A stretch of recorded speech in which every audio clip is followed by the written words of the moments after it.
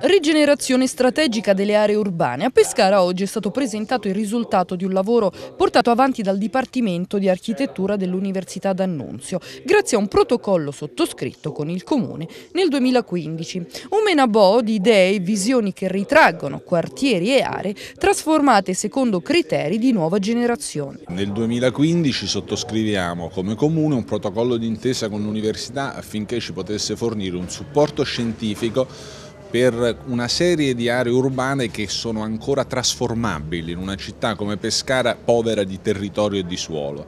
Su questi progetti di riqualificazione si sono cimentati eh, studenti provenienti da una decina di paesi e alla fine di tutto questo ci sono due ponderosi volumi che oggi presentiamo in questa sede.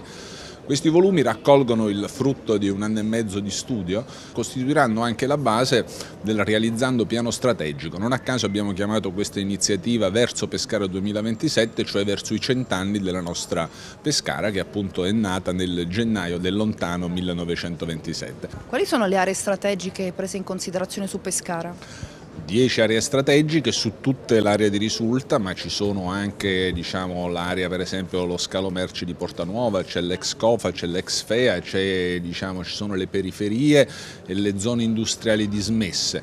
10 appunto importanti aree, 10 occasioni di trasformazione urbana che vogliamo naturalmente eh, diciamo, contribuire a migliorare e modificare in meglio.